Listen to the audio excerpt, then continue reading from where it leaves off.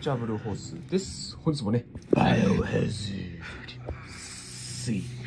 ドをやりながら人生相談に乗っていこうというふうに思います。えー今回からね、チャプター4をやっていきたいと思います。いきなりね、えーと、ピアスが、えーと、やられてますんで、助けてあげましょう。え？あらー マジか。あれ？こんなオチあったっけ？しまった。助けるどころか、いきなりやっちまったな。ああ、まあ、もう、どんまい。ちょっと待って。助けてから、あの、質問に乗っていきたいと思いますね。ちょっと待ってね。ちょっと待ってね。はい。えっと、どうしよう。急ぎ急ぎ急ぎ急ぎ。あとあと外しました。オッケー。ああ、よしよし。あん、オッケー。かっこいいな。オッケー。じゃあね、ちょっと待ってね。えっ、と、早速ですが、あの、質問にね、答えていきたいと思います。はい。今年こそダイエットするぞと決めたのですが、お正月にくっちゃねえの生活を過ごしてしまい、何も始めることができなくなってしまいました。苦労なくダイエットするのに何かアドバイスをいただけないでしょうか？ということですね。はい、ありがとうございます。えっとまあ、一つは、そのなんかダイエットのために特別なこと始めましょうみたいなことをやっちゃうと、まあ長続きしません。よくある、陥るのが、その、なんかね、年明けたから急に新しいことができるかっていうとそんなわけないんですよ。なんか新規一転みたいなねことってあの残念ながらあの相当意志固い人とかじゃないとできやしないんでそこはねあのあんまり勘違いをしない方がいい。勘違いっていうかねあの無理をしない方がいいと。いうふうに思います、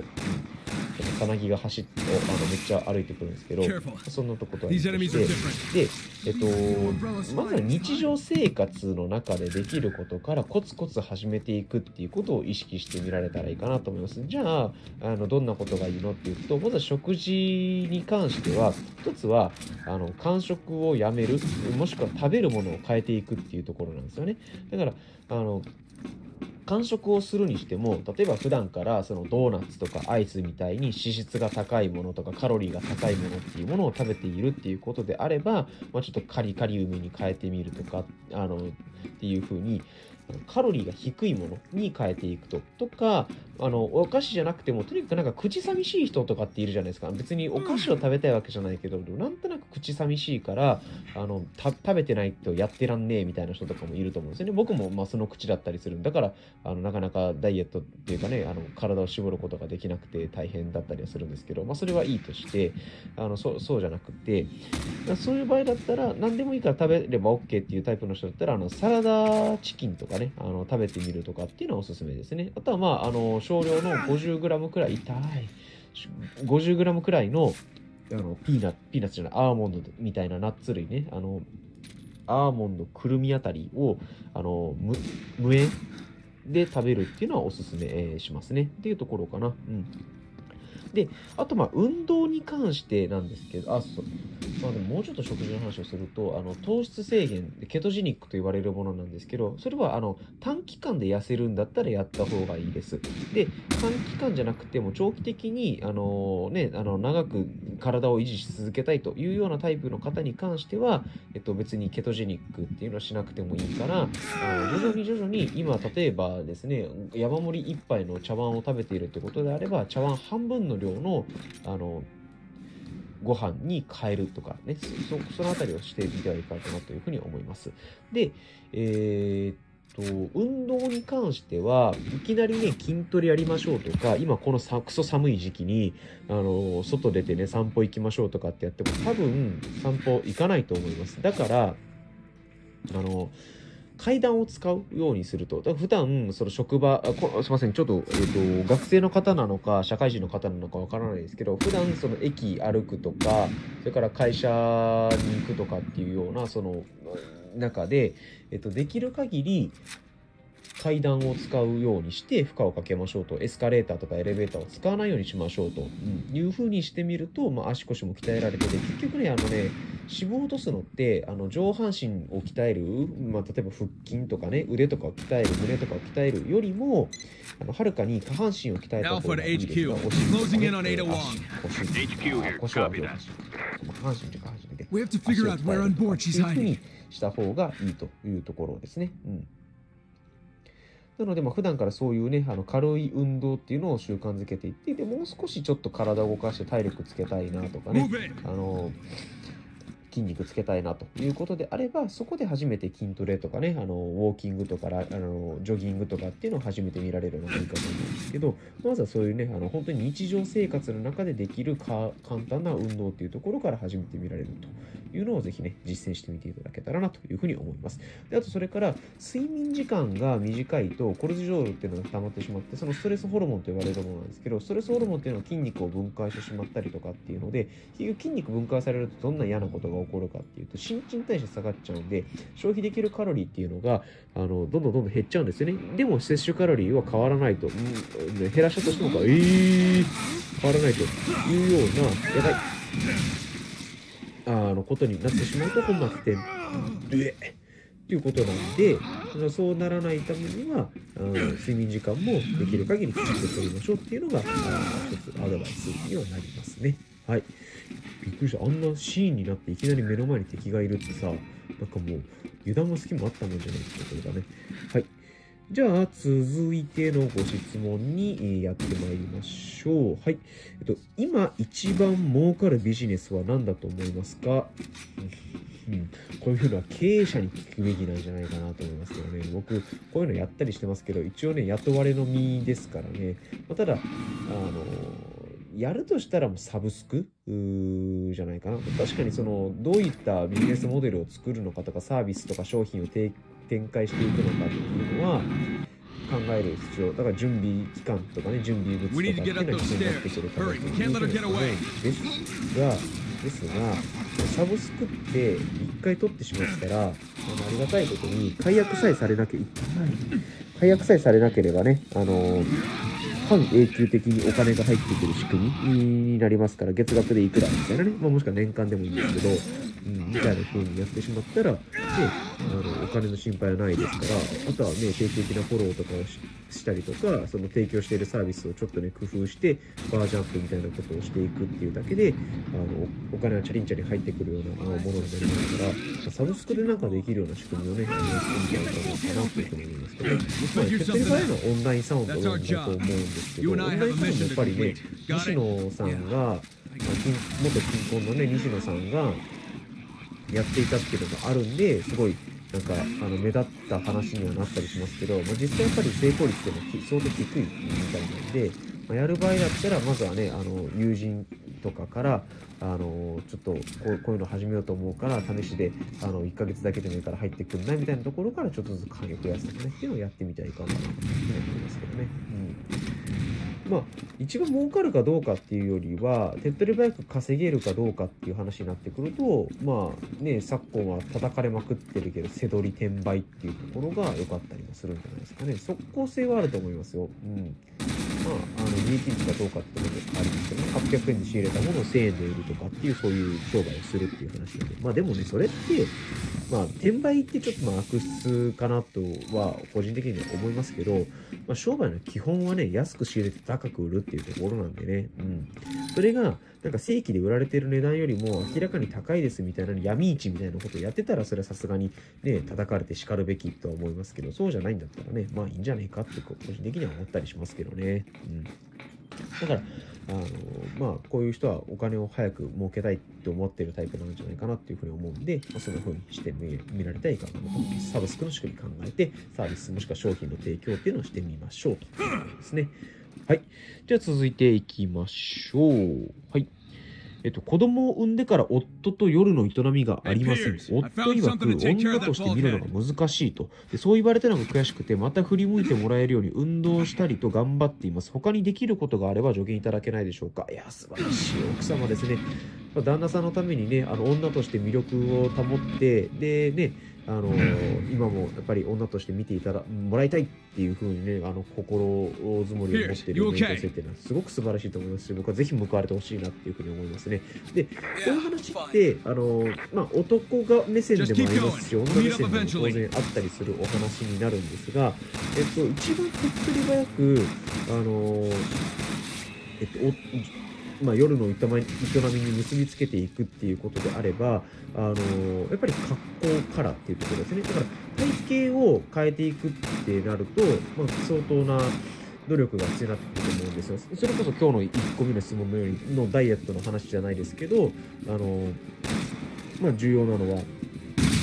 えー食事ですとか運動ですみたいな話になって、えーくると思うんですよね。まあ、旦那さんがどこにね、その女性的魅力を感じるかっていうのもね、あの、一個あったりはするんですけど、まあ、それは今回は省いておいて、何がいいかっていうと、やっぱりね、あの、雰囲気を変えるっていうのが大事になってくるんで、あの、一番手っ取り早いのはコスプレをしてみるっていうことですね。コスプレをするっていうと、なんか、あの、変なイメージですく水切る。うんうんうんうんうん。まあまあコスプレ、コスプレ。うん。別に僕、スクミザンまあ、あの例えば、えっと、そういったそういったコスチュームとか、えー、とあとま髪型を変えてみるね。あのショショートあとロングだったのをいきなりショートにしてみたらあのなんか雰囲気変わったいいじゃんみたいな感じであの急にショートにしてったりとか。あとそれからえっ、とこれは僕もそうだなっていうのはあるんですけど下着を変えてみるとかね、うん、っていうのはありますね。うん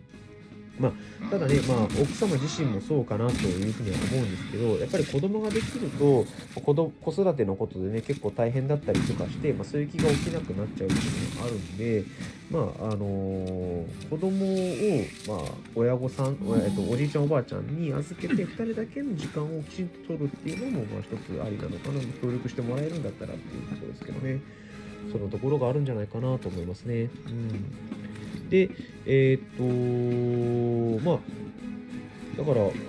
話をまとめていくと、コスプレをしてみる、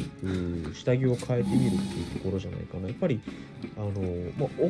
奥さんの裸ってね、一番見ることになりますね。逆にね、旦那の裸をもう一番見る、ね、異性の裸だったりしますから、それを考えると、やっぱりね、あのいい意味でも悪い意味でも慣れちゃうんですよね、うん、その見た目とか触った感触とか、うん、っていうところところが下着っていうのは手っ取り早くそのなんか脱がす喜びみたいなのがあるんで特にその自分の好きなあのね、自分の好みの色とか形とかっていうのがあると思うんですねそれにドンピシャにはまる下着をねあの服脱がした時につけてくれてたってなったらそれは男としてはもうねたまらん。しょうっていうところをね。まだから、あの旦那に内緒でそういったあのものをあの買ってねつけておくっていうのもありかとは思うんですけど、まあ、あのあえて聞いてみるっていうところももう一つありなんじゃないかなと思うんですね。まあ、それどっちの方がその旦那さんが興奮してくれるのかっていうところではあるんで、まあ、そこはあの要相談、まあ、もしくはあの作戦を奥さんの方が練ってみられるっていうところかなとは思うんですけどね。うんまあ、どうかな。まあでもねそんな風にねあの考えてくださってる奥さんを持ってる旦那さんあなたが僕は羨ましい これは間違いなく言えるうんいいな Now that's how you open a う.んそんな風にさ旦那にさ魅力をさ.伝えたい持ってもらいたいって思える女.性がいるっていうのはね本当にいい伴侶を選ばれたんじゃないかなっていう風にはすごく思いますよ、うん、逆にねその奥さんからしてもやっぱり旦那さんがあの常にその、まあ、見た目なのか中身なのか稼ぎなのかっていうのがありますけど魅力的であるっていうことを、まあ、求めるっていうのは十分あり得る話だと思うんで、そのあたりっていうのがかかる永遠の課題になってくるんじゃないかなとは思うんですよ。はい。ということで、えー、はい、パンチ、パンチ。この腕伸ばすやつね、めちゃくちゃね、範囲広いんだよね。しかも死なねえのか。大きい。じゃあ、ちょっと落ち着いたポジションが来れば、えっ、と、次のね、質問にに入っていきたいなと思うんですけど、ちょっとしばらくなんか、落ち着いてるポジションに行けそうにないんで、なんだろうなんかちょっと軽い質問があればいいなと思うんですけど今ちょっとね手元にあるものを見ると、まあ、大体45行くらいあるような質問ばっかりなんでちょっと読む暇がないですね。ちょっと待ってね。ちょっと待ってね。とりあえずこいつら全員吹っ飛ばす。ドーン。OK これなんでこれでさ爆風で知らないのこのクラウザーさんはさ、うん、大変大変本当に。クラウザー。ネオアンブレラのねもうこいつらほとんど変異しよるね。本当に。あやばいやばいやばい。無駄に無駄に体力。あーやばい。体力なくなっちゃった。うい。ちょっと避難避難避難一旦避難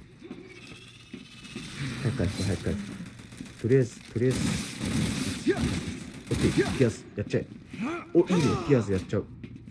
あれ？今殴った？あれ？抱きついてん抱きついて殴る面白い。まあなんだっけこれ。グレネードランチャーか。はちょっと余裕があるからいいかな。ハンドガンもさっき全部使い切ったっぽかったけどなんとか30発溜まったね。ハンドガンはねできるだけ使い切ってしまってでまあ強い武器からね使っていきたいなと思うんですけどこんだけちょっとバタバタしてるとなかなかスナイパーライフルを使う暇っていうのがなかったりするからしんどいね。うん。まあそれは言っても仕方ないんだけど。えー、っとああ入れる。ほい。いいねグレネードランチャー。一発で飛ぶにさしていくちょっと待ってえ生きてんのかよ？強っ。え？ほいああお亡くなりになった。やばいな体力ほいあれ？今ちょっとあああれ？無傷？違うよね違うよね。違うのが現れてきた。そう信じたい頭。OK ああすかした。ああよかった。ぶん投げ。るモンゴルズーモンはねぶん投げることができるんですよ。重いな敵これ終わるのか果たして？はいご褒美プレイ。ういじゃあ何あじゃあ投げようと思ったけど。お亡くなりになりましたね。OK じゃあ次進んでいこうか。はい。えー、いいめっちゃ打ってるわ。なんかバカがバカが言ってるなと思ったけど。だから痛い。これバク転上手なんかねあの倒された瞬間にスペースボタンを押せば OK ですよね。とりあえずダメージ受けたらめんどくさいんで、はい。で、OK。OK。いやー、痛い、痛い。またフィンになるよ。うわーで、さなぎちゃんやろうか。えーと、ほい、ほい、ほい、ほい、後ろでなんか発生してるやつがおる。こいつはとりあえず、えーと、ショットじゃなくて、OK。で、裏け、あれ？あれ？出ない。やばいやばいやばい。それは怒るわ。それは怒るわ。お前俺を体術で倒せると思うなよ。って俺もそう思います。OK 裏剣まだ。じゃあハンドガンでもそれを加えていって本当なんか焼き焦げてるって感じだよね、うん、金金繊維がボロボロに出てるみたいな感じだけど。はいよし、じゃあようやく落ち着きましたっていうところなんですけど、気づけばもう20分近くね、実況しているというところになりますんで、えっと、こっちは後で来るんで、もう一つの方の扉ですね、えー、こっちを開けたところで、えー、本パートをね、終了したいと思います。ということで、ピアスおいではい。ということでね、えー、本日も最後まで動画ご視聴いただきまして、どうもありがとうございました。また次回パートでお会いいたしましょう。お疲れ様でした。さよなら。バイバイ。